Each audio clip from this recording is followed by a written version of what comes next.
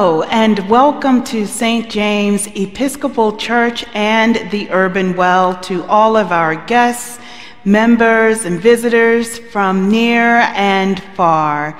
We're so grateful to have you with us again during this weekend as we honor our patron saint, St. James the Apostle. As you will see, our frontal is adorned in red, and we wear red stoles to commemorate St. James the Apostle, the martyr.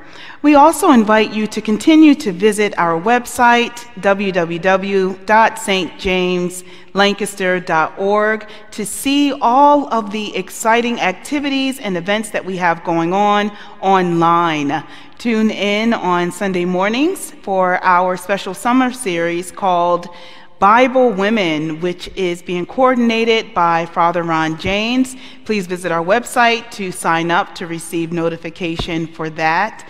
And although our church building is closed and we are in the process of examining ways in which we can reopen it for worship in the future, Ministry has not closed. We continue to partner with organizations and collaborate with different groups on how to address the needs of those who are, in, who are impoverished or hungry or needing clothing or in need of shelter. So please reach out to us, email us, or again, connect with us on our website to find out ways in which you can help to address the needs of God's community. We also remember this weekend the sad passing of civil rights activist Congressman John Lewis and the Reverend C.T. Vivian. Again, just commemorating the loss of some of our nation's figures and leaders in the civil rights movement, leaving a legacy of equity and advocacy and hope for a better future for our communities. Again, thank you so much for being with us. Continue to hold our rector, David Peck, and his family in your prayers for safe travels as he is away on a long overdue vacation. We will be glad to have him back, but we are also glad that he's enjoying some much needed downtime. Friends, welcome to St. James Episcopal Church and the Urban Well.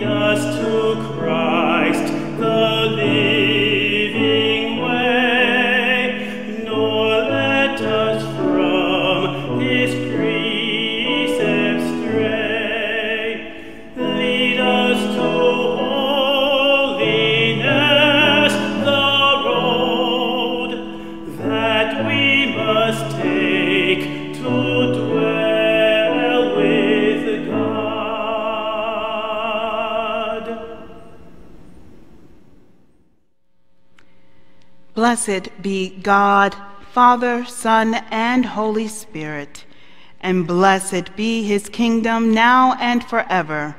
Amen. Almighty God, to you all hearts are open, all desires known, and from you no secrets are hid.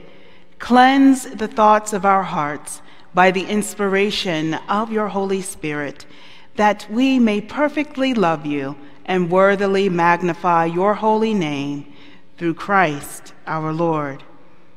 Amen. In honor of our patronal feast and our patron saint, St. James the Apostle, we pray together the prayer that was created in his honor. O gracious God, we remember before you today your servant and apostle James, first among the twelve to suffer martyrdom for the name of Jesus Christ. And we pray that you will pour out upon the leaders of your church that spirit of self denying service by which alone they may have true authority among your people through Jesus Christ our Lord, who lives and reigns with you and the Holy Spirit, one God, now and forever. Amen.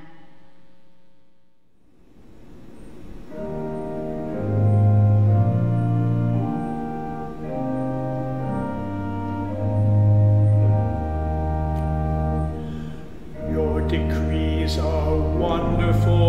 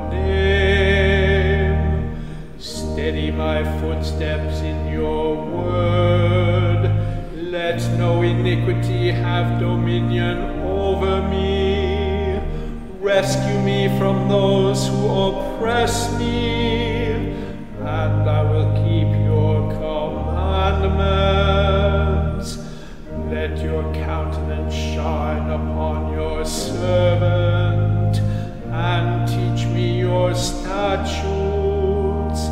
My eyes shed streams of tears, because people do not keep your law.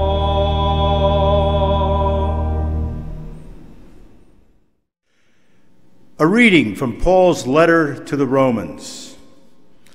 Likewise, the Spirit helps us in our weakness, for we do not know how to pray as we ought, but the Spirit Himself intercedes for us with sighs too deep for words. And He who searches the hearts of men knows what is in the mind of the Spirit, because the Spirit intercedes for the saints according to the will of God. We know that everything in God works for good with those who love him, who are called according to his purpose. For those whom he foreknew, he also predestined to be conformed to the image of his Son, in order that he might be the firstborn among many brethren. And those whom he predestined, he also called. And those whom he called, he also justified. And those whom he justified, he also glorified.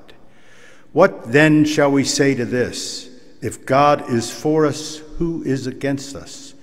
He who did not spare his own son, but gave him up for us all, will he not also give us all things with him? Who shall bring any charge against God's elect? It is God who justifies. Who is to condemn?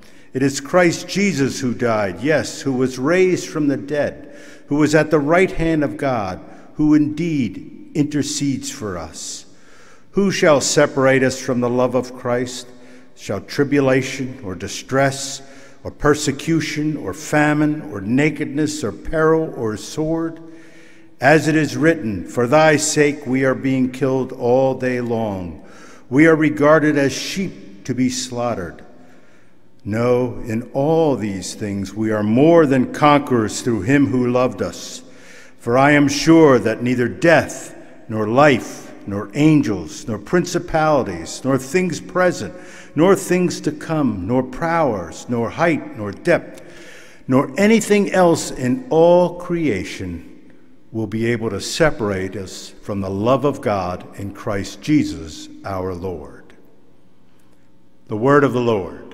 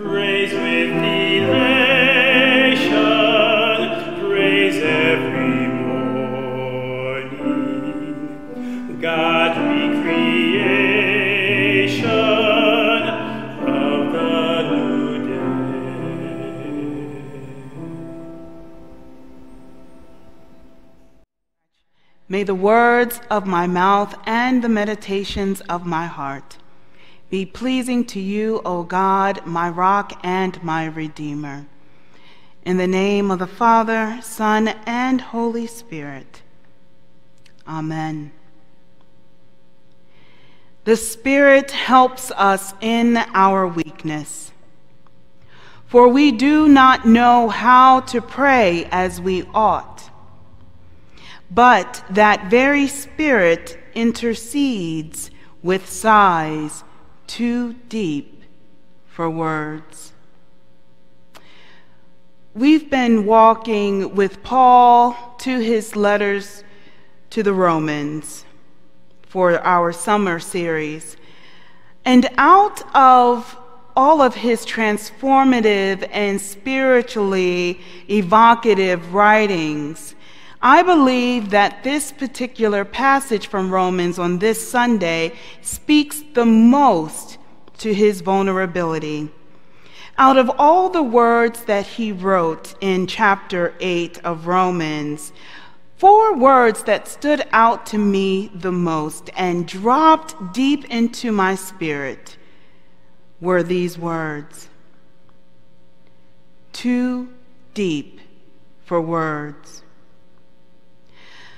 In our Christian communities, we often come to church and or other holy places seeking answers, seeking explanations for the chaos or meaningless violence that we experience and see and hear in our world. Our communities that experience loss and grief. And here in this ancient text, written thousands of years ago, we are able to connect and identify with Paul's vulnerability in his saying that there are things in our human experiences that are simply too deep for words.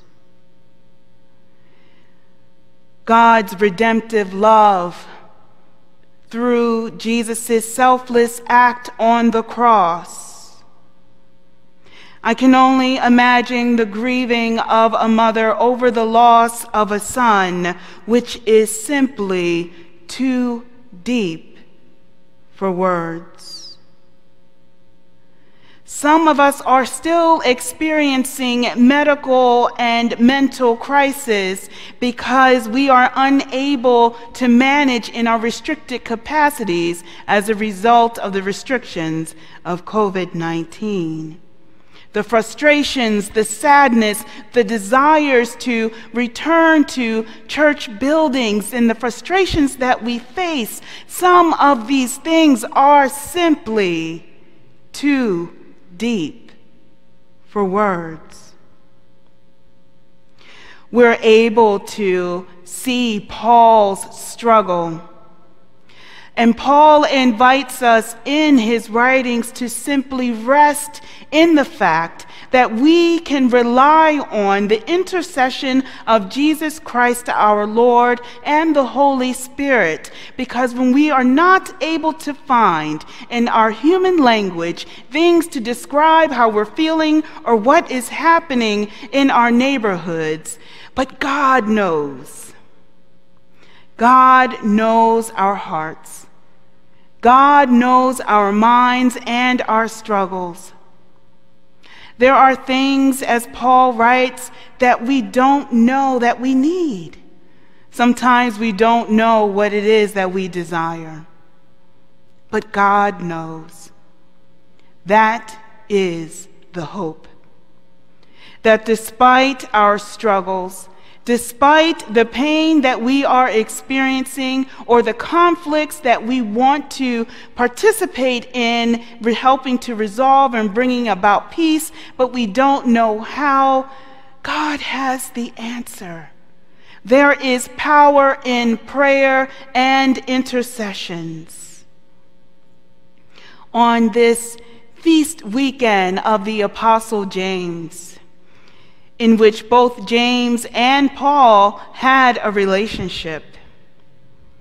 And although, in a very reductive way, Paul more or less is known for his justification by faith, whereas James is saying faith without works is dead, the prayer and the hope is that all things will work together for the good of those who love the Lord. Although their ideologies and theologies converge, they overlap in some instances, they diverge in others. But one thing is for certain. There is power in community, communities of people that come together in the name of God, communities that come together to address the needs of those who are impoverished communities that come together to address the needs of the hungry, the destitute, the downtrodden, the brokenhearted. Communities that need to know that they are worthy of love. They are worthy of our time, and they are worthy of us to advocate on their behalf. While there are things that are too deep for words, we believe in the power of the Holy Spirit to give us utterance, to give us the things to say. And there are also times when it is okay to not have the answers. It is okay to not be able to explain all things to all people, but to rather rest, meditate in the mystery of God and in the mystery of this world. And no matter where you are in your walk, in your spiritual walk, no matter where you are in your faith or in your doubt, know this. And I leave you with these words from Paul. He says, For I am convinced that neither death, nor life, nor angels, nor rulers, nor things present, nor things to come, nor powers, no height, no depth, nor anything else in all creation will be able to separate us from the love of God in Jesus Christ our Lord. Go in peace, my friends, to love and serve the Lord, to love and serve one another. Know that while there are things that might be too deep for words, there is nothing too deep or too impossible for God. Amen.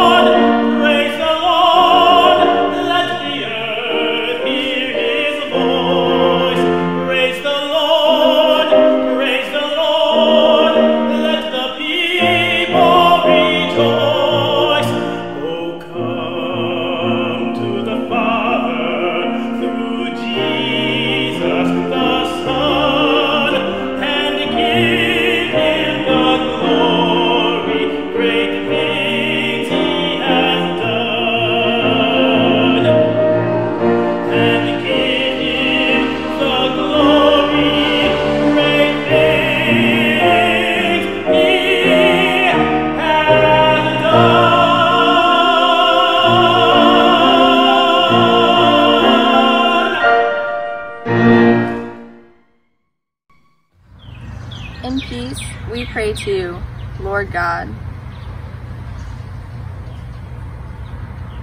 For all people in their daily life and work. For our families, friends, and neighbors, and for those who are alone. For this community, the nation, and the world. For all who work for justice, freedom, and peace. For the just and proper use of your creation. For the victims of hunger, fear, injustice, and oppression. For all who are in danger, sorrow, or any kind of trouble. For those who minister to the sick, the friendless, and the needy. For the peace and unity of the Church of God. For all who proclaim the gospel, and all who seek the truth. For our presiding bishop and other ministers. For all who, who serve God in his church. For the special needs and concerns of this congregation. Hear us, Lord. For your mercy is great. We thank you, Lord, for all blessings of this life. We will exalt you, O God, our King. And praise your name forever and ever. We pray for all who have died, that they may have a place in your eternal kingdom. Lord, let your loving kindness be upon them. Who put their trust in you. We pray to you also for forgiveness of our sins. Have mercy upon us, most merciful Father. In your compassion, forgive us our sins, known and unknown, things done and left undone, and so uphold us by your Spirit, that we may live and serve you in newness of life, to honor and glory of your name, through Jesus Christ our Lord. Amen. Amen. And we remember those who have requested our prayers Mike, David, Bob, Meredith, Pat, Ron, Missy, Wendy, Amy, Sherry, Matthew, Kathy, and recently departed Representative John Lewis and the Reverend C.T. Vivian. We ask for your continued prayers for all who have been named. O Lord our God, accept the fervent prayers of your people in the multitude of your mercies. Look with compassion upon us and all who turn to you for help. For you are gracious, O lover of souls and to you we give glory, Father, Son, and Holy Spirit, now and forever. Amen.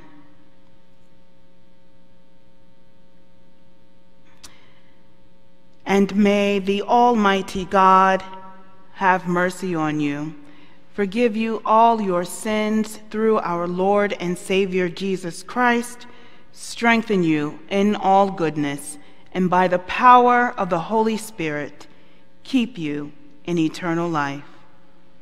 Amen. My friends, the peace of the Lord be always with you. Drawing all of our prayers into one, let us pray as our Lord and Savior Jesus Christ taught us. Our Father, who art in heaven, hallowed be thy name. Thy kingdom come, thy will be done, on earth as it is in heaven. Give us this day our daily bread, and forgive us our trespasses, as we forgive those who trespass against us. And lead us not into temptation, but deliver us from evil. For thine is the kingdom, and the power, and the glory forever and ever. Amen. May the peace that surpasses all understanding keep your hearts and your minds in the love and knowledge of God and of God's Son, Jesus Christ, our Lord. And the blessing of God Almighty, Father, Son, and Holy Spirit be among you and remain with you always. Amen. Go forth into the world rejoicing in the power of the Spirit.